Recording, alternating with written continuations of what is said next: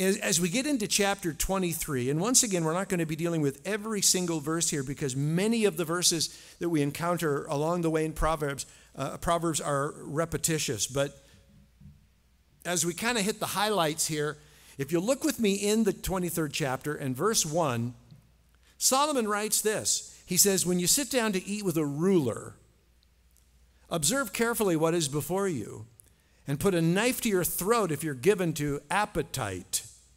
Do not desire his delicacies, for they are deceptive food. Now, you know, you and I might kind of read a couple of verses like this, or actually three verses, and kind of wonder, man, what is this all about? Because, you know, we don't really know what it's like to live uh, under a king, under a monarch, under an absolute ruler who could very well be a tyrant.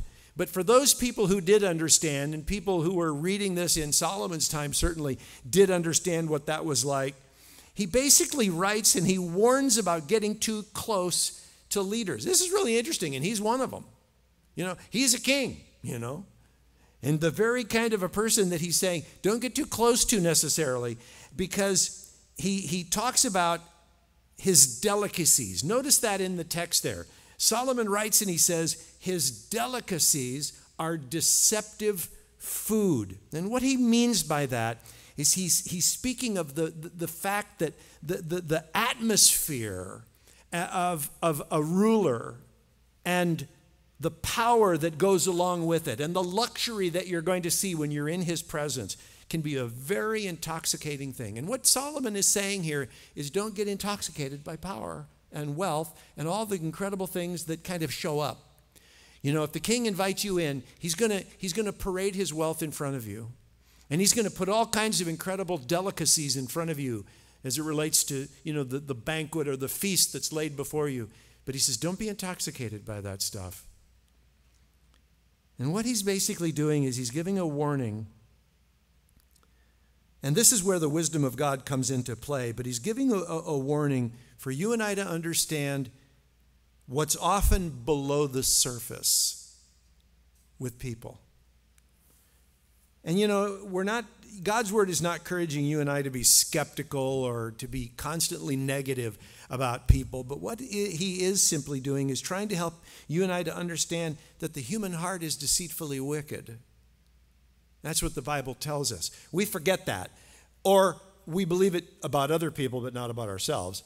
But um, it's the same truth for all people, for all situations. And Solomon wants Eh, you to understand that when you're around someone who seems to have it all together in the sense of having worldly goods and, and the power that perhaps even goes along with that, to be very, very careful and to walk eh, eh, you know, with understanding and to be very circumspect about the way you give yourself to that sort of a person.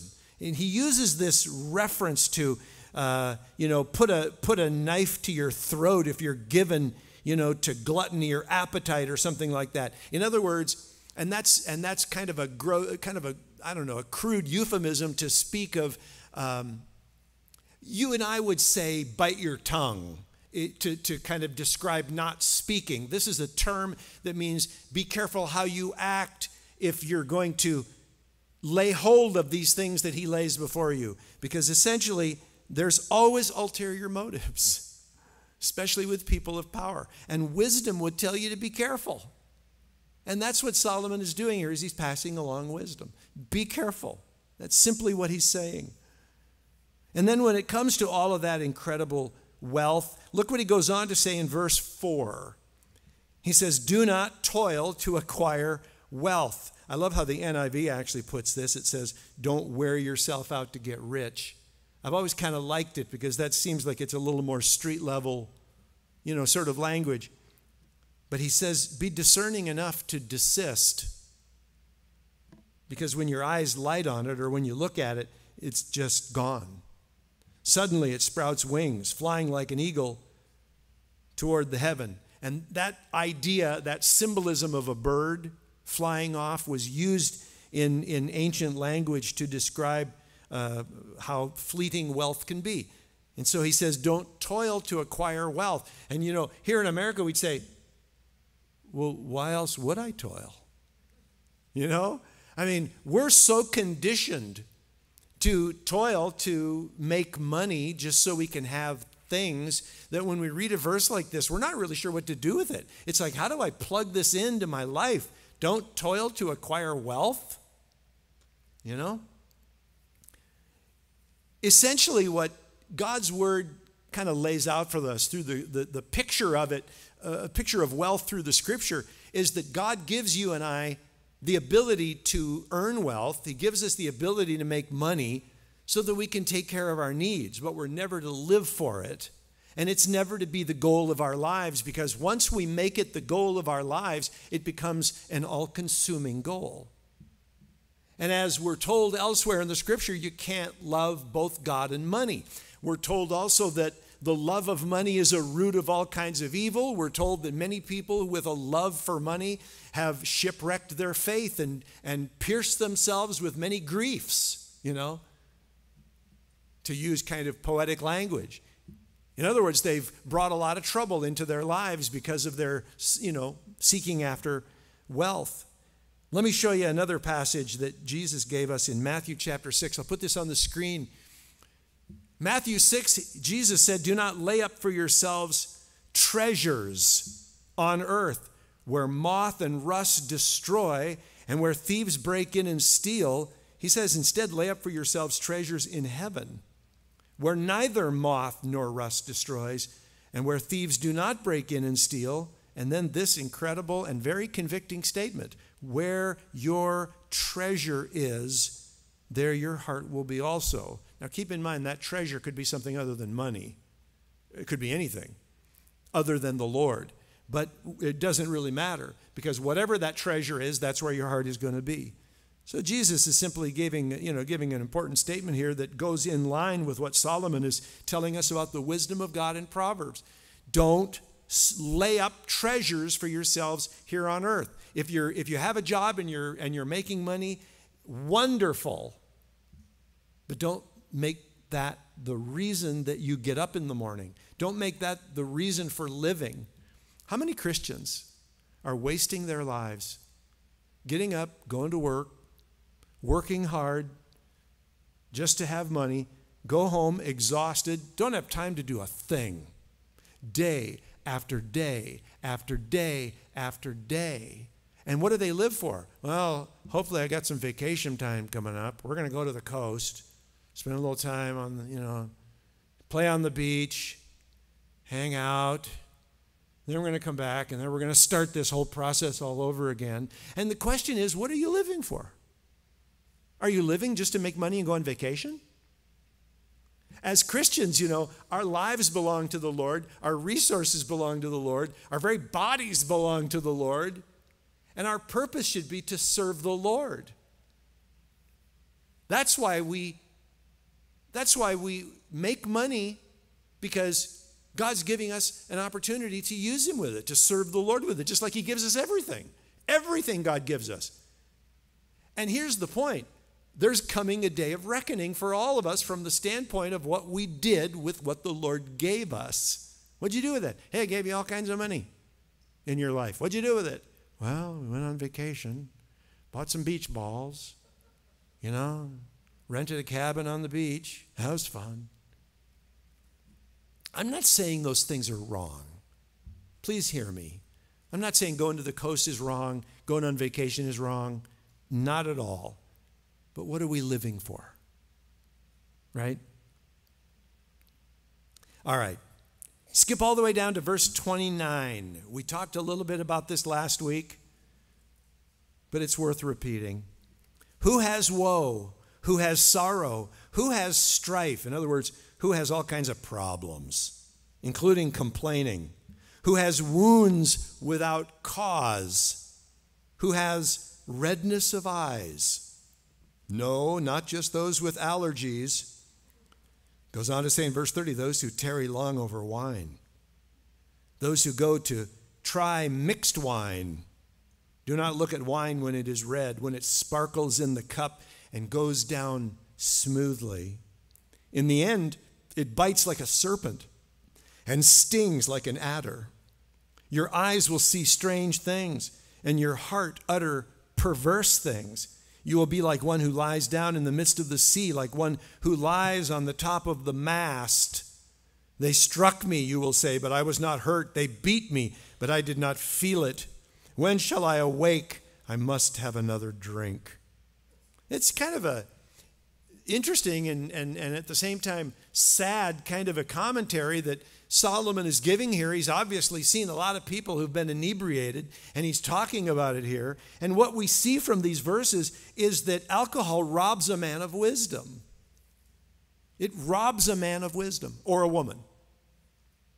You know, when we've, in the times, in the years, opportunities that we've had to minister to people who have given in to alcohol and, frankly, other chemicals, we find that even after they stop drinking or stop partaking in whatever it is that's messing them up, even after they stop, it can be a month or two or more before they start thinking straight, before their thought processes even straighten around to the point where they can make valid, reasonable choices. It robs you of wisdom remember, Proverbs is all about wisdom. It's not wise to do things that are going to rob you of wisdom. In fact, it's really dumb. So, Solomon is basically painting this rather sorry picture of the individual, you know, who, who as he says, tarries long over wine. It seems really fun at the beginning, but in the end, he says it bites like a snake. Chapter 24. Look at verses 3 and 4. By wisdom a house is built, and by understanding it is established. By knowledge the rooms are filled with all precious and pleasant riches. This is the outgrowth of wisdom. And Solomon is talking about building things, and I don't think he's, he's, he's talking here about constructing a house made of wood and sheetrock, or as they were making them of rocks and mortar or whatever they were made of back then. The imagery here is building anything. Any, it's building your life. It's, it's about building relationships. It's about building a business. It's about building a home and a family. How good are we at building homes and families these days? We stink. Flat out, we stink.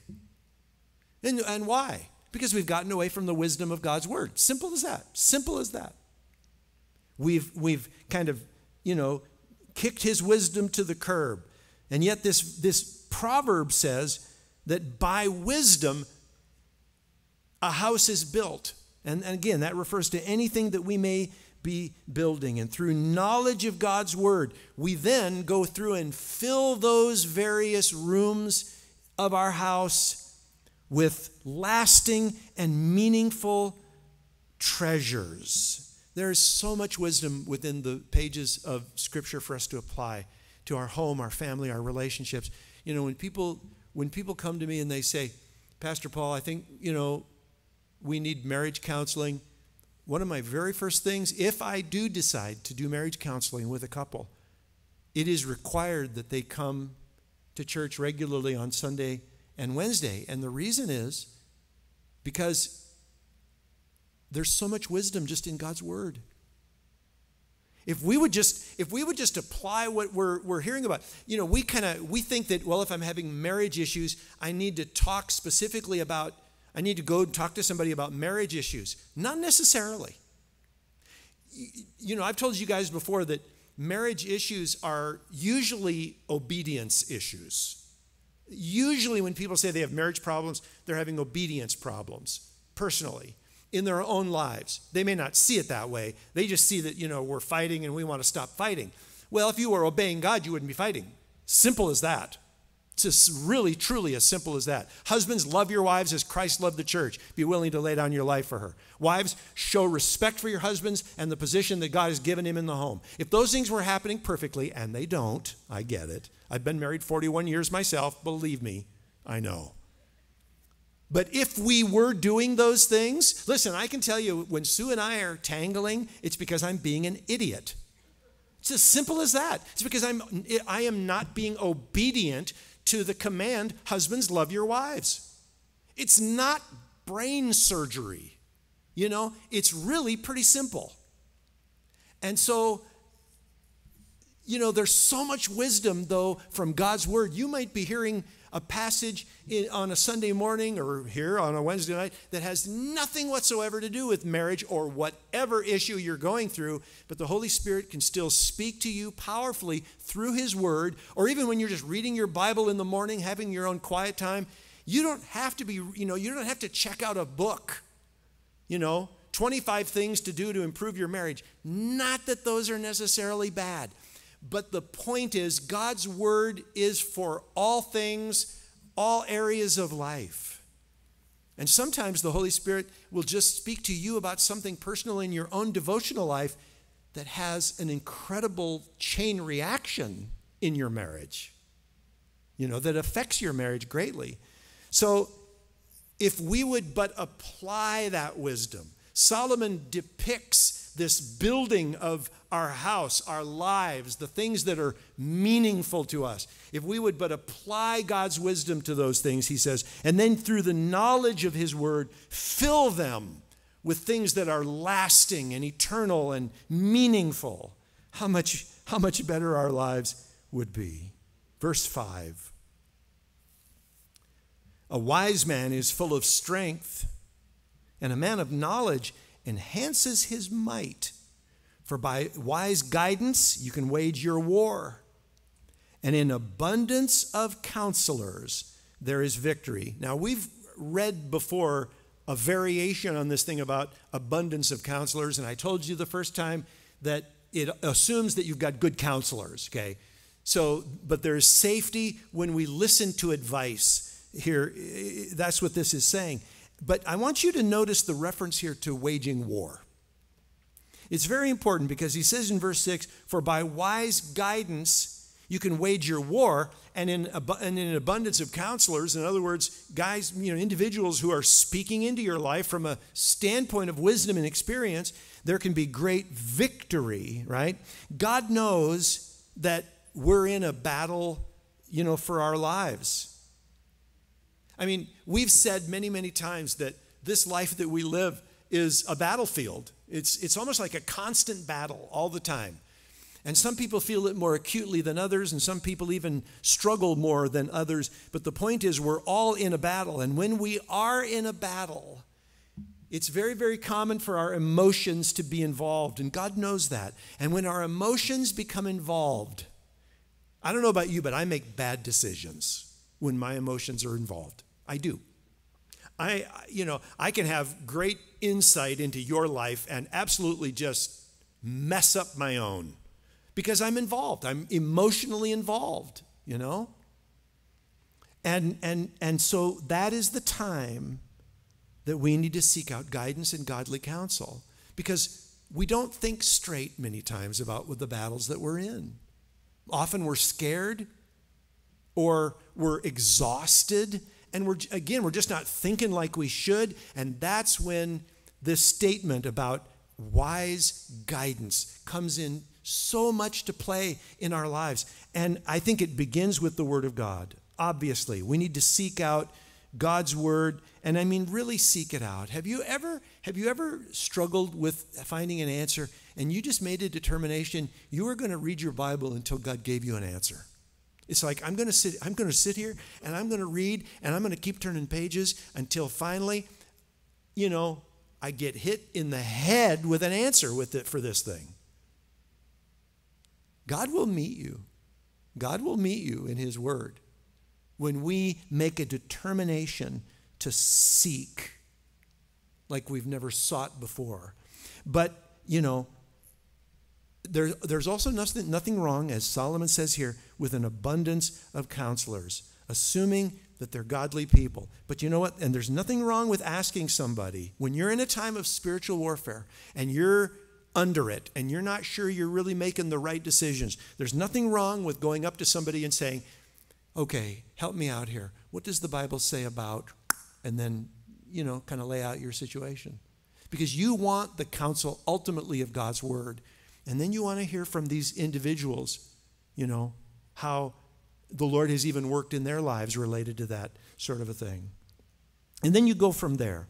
But, you know, I, I, I can't speak enough about seeking wise guidance, seeking good, godly, biblical counsel. It's, it's a very important thing that we do in our lives. One of the dumbest things that we do when we're going through hard times is isolate ourselves.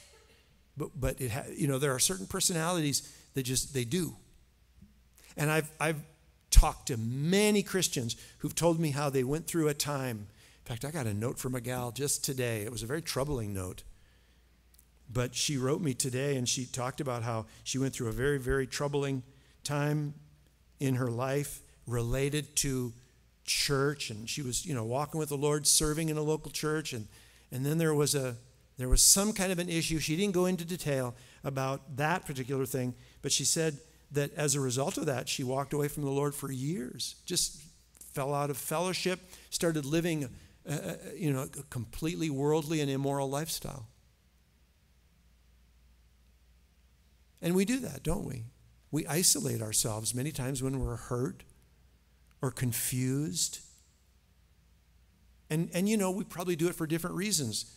In some cases, we're ashamed. We think everybody knows what's going on in our lives, and they don't. You know, people have said to me before, well, I'd come back to church, but what would people think? And I said, I'll tell you what they'd think. They're thinking about their own lives. They're, you're not even on their radar. Sorry but they're not thinking about you, most of them. And the ones that are, are mature enough to think properly. And they know that they're no different than you are. The other ones who aren't mature enough aren't thinking about you at all. So just come back. You know what I mean? What does the Bible say about? That's a great way to start a conversation with somebody when you need that kind of wisdom. Skip down to verse 10. Talking more about difficulty. It says here, if you faint in the day of adversity, your strength is small. Now, what is that? What do you think of when you read this psalm? Do you think, well, wow, that's kind of a smack in the head? Have you ever fainted in the day of adversity? Because I have. you know, seriously, I've, I've done it a number of times. This verse isn't necessarily suggesting that you have to be strong in and of yourself because the days of adversity come to all of us, every single one of us. And, and when they do, and when we faint, or I think some of your Bibles may say falter, when that happens, God is giving us an opportunity to understand just how weak we are. You get it? Why did the Lord allow this to happen? Because He wanted you to see how weak you are. I've said that to people many times. Why did He want to do that? So you'd come to Him to find strength. Because you're not strong enough. And, and you, but you thought you were, and you had to find out the hard way that you're really a kind of a weenie. See, that's what happened with Peter. Peter's like, I'll never deny you, Lord. And the Lord had to let him see just how weak of a man he really was. Had to put him in a situation where, you know, people are looking at him going, Weren't you with that Nazarene? Didn't you cut off one of my relatives' ears out there when they were arresting him and all this other stuff? I don't know who you're talking about. Three times he denies him. Here's the rooster crow, sees Jesus look at him, and suddenly Peter realizes, I am nothing. And that was the reality of what Peter came to. That was the realization that he came to. I am nothing. Why do you think he went off and wept bitterly? It's because every imaginary idea of the kind of a man he was was absolutely stripped away at that moment. And Peter saw who he really was. He was a weak man. He was a very weak man. Now, you might say, well, gee, that's kind of cruel for God to, you know, have to do that to a guy. Oh, well, let me tell you, it, it's got to be done. It's got to be done. Otherwise, Peter's going to keep walking down the road of life thinking he's something when he's not. And he's going to get pummeled over and over and over again until he finally learns the most important lesson of his life. I am a weak man, and I'm only strong when I am strong in him. And that's the point of all of this. Our strength needs to be in the Lord, where we lean fully on him. Let me show you a passage from Ephesians chapter 6. This is a very important verse, or a couple of verses. Paul writes and says, Finally, be strong in the Lord, right? Not in yourself, but in the Lord, and in the strength of his might, not in yours. You're not strong. He says, Put on the whole armor of God that you may be able to stand against the schemes of the devil. Therefore, take up the whole armor of God that you may be able to withstand in the evil day. And having done all, to stand firm, to keep standing, right? So, you know, this is not one of those pep talks that you get from people when they tell you to buck up. Hey, partner, buck up. That's not what's going on here. God's not telling you to buck up, He's telling you to literally lay yourself before the Savior and let Him be your strength. You're not strong enough. You're not strong enough to overcome sin. You're not strong enough to overcome the issues and, and, and adversities of life. You're not, you're not strong enough to deal with the enemy by any stretch of the imagination. I keep telling people the enemy's been at this a lot longer than you have. And he's got his adversarial role down to a T. And he probably knows you better than you know yourself, at least in terms of your human nature. And if you're going to engage him on some kind of a fleshly level, you know, yeah, you know. So it's very, very important that we find our strength in the Lord. So if you find yourself fainting in the day of adversity, well, the Lord just did you a favor. He showed you how weak you are so that you can come to Him and find your strength in Him. Verse 11 Rescue those who are being taken away to death, hold back those who are stumbling to the slaughter. If you say, Behold, we did not know this, does not he who weighs the heart perceive it? Does not he who keeps watch over your soul know it? And he will not, and will he not repay a man according to his work. You've probably heard the term sin of omission, I, I, could, I would imagine. Well, of course, that refers to things that we don't do that we know that we should do.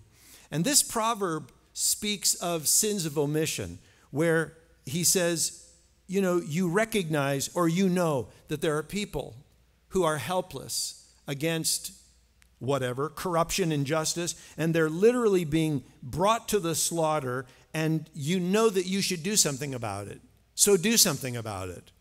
And don't pretend like you don't know what's going on. And frankly, I, I know that there are many Christians who use these couple of verses to speak of their motivation to uh, work with um, women in an unplanned pregnancy to save the life of that unborn child. I know that others use these passages to speak of their motivation to work and helping to stop human trafficking and, and all sorts of other things.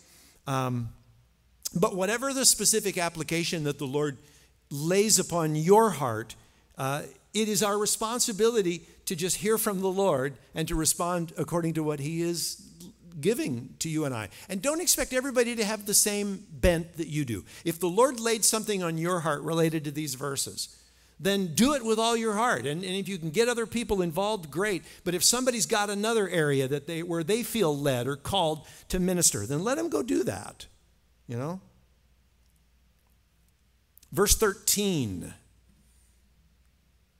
My son, my son, eat honey, for it is good and the drippings of the honeycomb are sweet to your taste. You kind of think, wow, that's an interesting thing to put in the Proverbs. No, here's the connection he's making in the next verse. Know that wisdom is such, or if you will, the same to your soul. If you find it, there will be a future, and your hope will not be cut off. pretty interesting here, isn't it? That, uh, you know, the, the, the, the wisdom of God is likened to the sweetness of honey. Because, you know, we have these biblical references of people eating honey in the Old Testament and having it brighten their eyes, you know, because obviously, you know, it brings up your blood sugar and, and it can give you energy and, and, and so forth. But when you think of that term, that figurative term, the sweetness of life, um, honey is kind of the uh, representative figure, you know, for that. Um, because it's completely natural and so forth and so on. But it's really interesting to me that that wisdom is likened to honey because there are places in the Bible where prophets in a vision are told to eat the word of God. In other words, to consume a scroll. John, it happens to John in the book of Revelation. Let me show you this one on the screen from Revelation chapter 10. It says, So I went to the angel and told him to give me the little scroll. And he said to me, Take and eat it. It will make your stomach bitter, but in your mouth it will be sweet as honey. And of course, that, that the sweetness of it in his mouth is a reference to the sweetness of the word of God. The bitterness in his stomach is because it was a very negative prophecy that was going to be given uh, to the people of the earth. But so he says, And I took the little scroll from the hand of the angel and ate it. It was sweet as honey in my mouth, but when I'd eaten it, uh, my stomach was made bitter. So, really, you know, a, a fascinating picture. But don't you, don't you agree that the Word of God is kind of like that? You know, when you hear the Word of God and you feel nourished, you know, just hearing the scriptures, just hearing somebody even talk about the Word of God, reading a verse in the morning or two or, or a chapter or whatever, and, and just, you know, it's like, wow, just the sweetness of God's Word, you know? Skip down to verse 17. Wisdom of God. Do not rejoice when your enemy falls, and let not your heart be glad when he stumbles, lest the Lord see it and be displeased and turn away his anger from him, the inference there meaning, and then turn it onto you. This is a tough one, but as believers, we got to be very careful never to catch ourselves rejoicing when trouble finally catches up to those who have been troubling us. It's, you know, it's just, it's just too easy, isn't it? Just to say, yeah, well, how's that feel? Getting what you deserve finally. Yeah. Isn't that nice? You know what's so wrong about that? It's because that attitude presumes that God gives everybody what they deserve. And the fact of the matter is, you're not getting what you deserve. And frankly, neither is that person necessarily because the fact of the matter is, none of us deserves God's love. None of us deserves His forgiveness. None of us deserves eternal life. None of us deserves sonship, an inheritance alongside Jesus. Are you kidding me? Did we actually believe that we, did we delude ourselves into thinking we deserved it? None of us. And we don't get what we do deserve, which is judgment. So the Lord says, don't take on that attitude toward your, your enemy because the Lord will be displeased because that means you've begun to separate yourself in your understanding from your enemy. You think you're better than him. You're not better than him or her. So be careful about those attitudes. All right, now we skip down as we get to verse 23. It appears here that we've completed the sayings of Solomon, although in the next chapter we're going to see some others. But it says here in verse 23 these also are sayings of the wise. And many of them are very similar to the ones we've already uh, looked at. Um, and it skip down to verse 27. This is an interesting verse, kind of on an agricultural figure or illustration. It says, Prepare your work outside, get everything ready for yourself in the field and then after that, build your house. Now, this is wisdom. This is wisdom. I don't care if you're not a farmer, doesn't matter. There's a principle of wisdom that is found in this verse that is really good because it's speaking of the order of things. And what it's saying here is okay, under an agricultural idea, to get your field ready means to prepare your means of income. In other words, get your financial situation in order so that you have an income coming in, you're able to feed your family and that sort of thing, and then begin to eh, whatever you're doing build your house, build your business, or whatever. Get that income coming in, get it moving along. So there's great wisdom of here that's put in here. Don't get these things out of order. Because if you start spending money and spending money and spending money, you don't have any income, obviously you're going to run up against a brick wall and not be able to continue. Simple wisdom, but you know, you'd be shocked how many people try to get around it. Verse 30, this chapter ends with kind of an observation. It says, I passed by the field of a sluggard, that means a lazy person, by the vineyard of a man lacking sense. And behold, it was all overgrown with thorns. The ground was covered with nettles, and its stone wall was broken down. Then I saw and considered it. I looked and received instruction. A little sleep, a little slumber, a little folding of the hands to rest, and poverty will come upon you like a robber, and want, or as the NIV says, scarcity, like an armed man or somebody breaking into your home to steal. So whoever, you know, it looks like Solomon isn't writing this particular one, but whoever is speaks of just passing by this field, this vineyard of this individual who likes to rest more than they like to work. And you know, it, it's hard today, isn't it, to drive by people's properties and see them completely broken down and overgrown. It's hard, isn't it? Because there's a lot of them.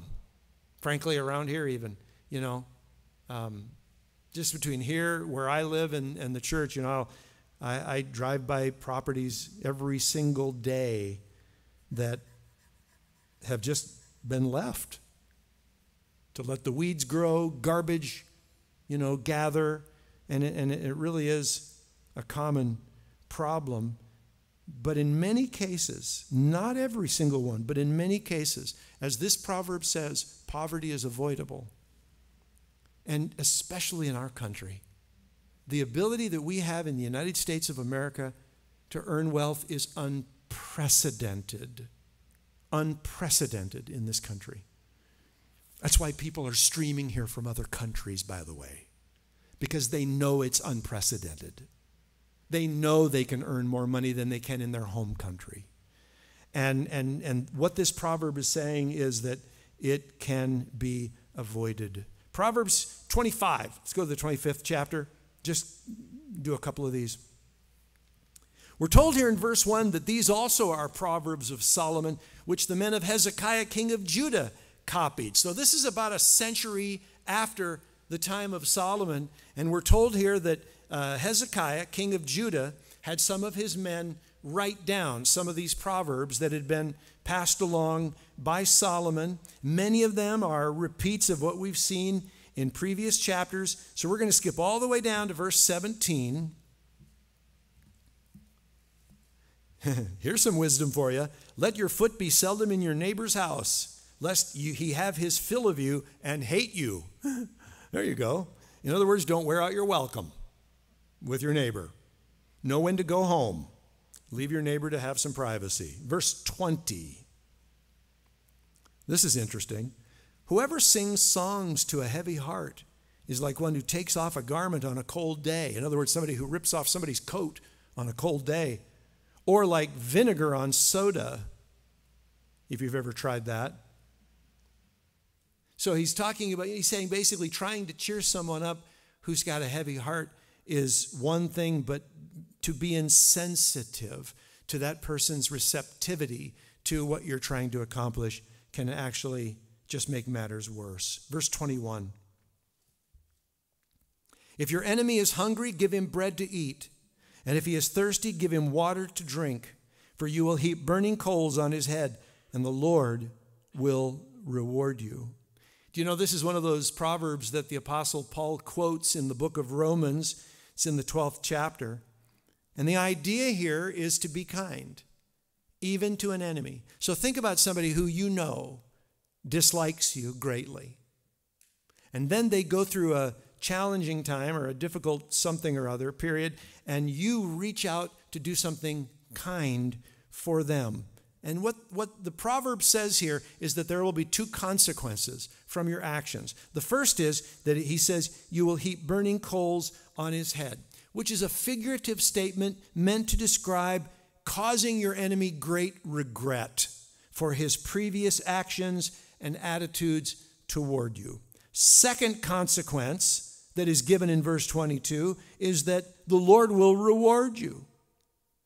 He will reward you for doing good to the one who dislikes you. Why? Because that's what he does. The Bible says that God sends rain on the just and the unjust. So, you know, he is no respecter of persons in that sense. He gives the blessing of sunshine and rain and so forth to all people, uh, and he is pleased when we do the same. And finally, verse 28 it says, A man without self control is like a city broken into and left without walls. You know, you have to picture this in your mind, and we don't. We don't have cities with walls anymore. Um, but the way they would, of course, gain entrance into a city was by breaking down the wall. And they would build ramps and they would have battering rams and they would, you know, if you can break down the walls of the city, you can gain access to the city and you can defeat your enemy. Well, so a wall was put up as a means of protection against the enemy. Any city that didn't have a wall was vulnerable, you know, to any raiders that came along at any time and wanted to just kind of pillage because they can get in any way they want and steal in during the night and, and, and what all else. So, what this proverb is saying is a man who does not have self control is likened to a city with no wall. In that sense, he is vulnerable to constant and consistent attacks of the enemy. Why? Because he has no means of protecting himself or saying no. There's no means of pushing back the presence of the enemy. And you know, largely, this is what we do as parents. Do you know? I mean, we're obviously teaching our kids, you know, we're trying to teach them right from wrong. We want them to know the Lord, we want them to know the scripture. But largely, we're trying to teach our kids to have self control, which is kind of a lost art in parenting today, I'll just tell you. You know, it's kind of a lost art. I mean, having a, a, a, parent train a child to have self control, to sit still, for example, or not to speak while the adults are talking. Um, that takes self control. And but it, uh, children don't have that, you know, naturally. They learn as they're taught to have self control. It's like you can control yourself. You can control your emotions. You can control your words. You don't have to let stupid, foolish things come out of your mouth.